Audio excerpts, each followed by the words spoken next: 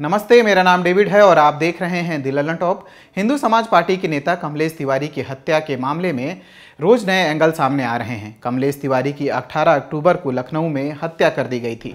19 अक्टूबर को उत्तर प्रदेश के DGP OP Singh ने प्रेस कॉन्फ्रेंस में वारदात के खुलासे का दावा किया था। बताया था कि तीन लोगों को सूरत से और दो लोगों को बिजनौर से गिरफ़्तार किया गया है। यूपी डीजीपी ओपी सिंह ने दावा किया था 2015 में कमलेश तिवारी ने पैगंबर मोहम्मद पर जो विवादित बयान दिया था, उसी से नाराज़ होकर कमलेश तिवारी की हत्या कर दी गई।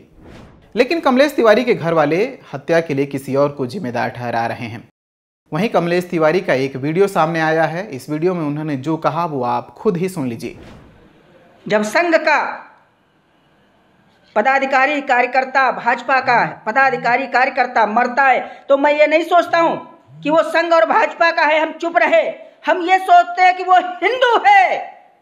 ये भले मैं जेल चला जाता हूँ, ये भले मेरे लिए षडयंत्र रचते हैं, लेकिन इनके कार्यकर्ताओं के लिए भी मेरे दिल में दर्द होती है और मैं लड़ने निकल पड़ता हूँ। इन के लिए जो मेरे पीछे दिन रात पड़े हुए हैं, मेरी हत्या की साजिश रचते, मेरी सुरक्षा हटा दिया। योगी सरकार के आते ही फिर भी मैं लड़ रहा हूँ और इन्हें यह दिखा रहा हूँ।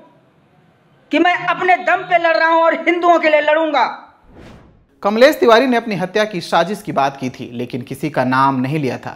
हालाँकि बेटे की हत्या के तुरंत बाद कमलेश की माँ ने कहा था कि जब अखिलेश यादव मुख्यमंत्री थे तो कमलेश को हत्या की धमकी मिली थी, लेकिन उस वक्त कुछ नहीं हुआ। अब योगी सीएम बन गए तो मेरे बेटे की हत्या कर दी गई। अखिलेश सरकार में बेटे को सुरक्षा मिली थी, लेकिन योगी सरकार ने सुरक्षा हटा ली। ये हत्या बीजेपी के एक नेता शिव कुमार गुप्ता ने करवाई है। क्योंकि उसका मेरे बेटे से एक मंदिर की ज़मीन को लेकर विवाद चल रहा था। वहीं 20 अक्टूबर को सीएम योगी आदित्यनाथ से मुलाकात के बाद कमलेश तिवारी की माँ ने कहा था, परिवार को ज़बरदस्ती सीतापुर से लखनऊ लाया गया। मुख्यमंत्री से मुलाकात करवाई गई। पुलिस हमारे ऊपर लगातार दबाव डाल रही थी, जबकि किसी हिंदू परिवार में अगर किसी की मौत हो जाती है तो वो तेरह दिनों तक घर से बाहर नहीं निकलते हैं। सीएम से मिलने के बाद बाहर आकर तिवारी की माँ ने कहा था, मुख्यमंत्री से मुलाकात संतोषजनक नहीं रही। हमारे ऊपर मुलाकात करने का बहुत दबाव था। अगर मेरे बेटे को न्याय नहीं मिला तो हम तलवार उठा लेंगे। कमलेश तिवारी की हत्या की जाँच चल रही है। जाँच पूरी होने के बाद पता चलेगा कि कमलेश की हत्या किसने और क्यों की। लेकिन कमलेश तिवारी की माँ कुसुम तिवारी ने सरकार पर ही आरोप लगा दिए हैं। कमलेश का फेसबुक लाइव वीडियो भी किसी और साजिश की बात कर रहा है। इस मामले में जो भी अपडेट होगा, ललन टॉप आपको बताता रहेगा। अगर इस वीडियो को आप यूट्यूब पर देख रहे हैं तो हमारे चैनल को सब्सक्राइब करिए। फेसबुक पर देख रहे हैं तो हमारे पेज को लाइक करिए। और अब तक आपने हमारा ऐप डाउनलोड नहीं किया है तो डाउनलोड करिए।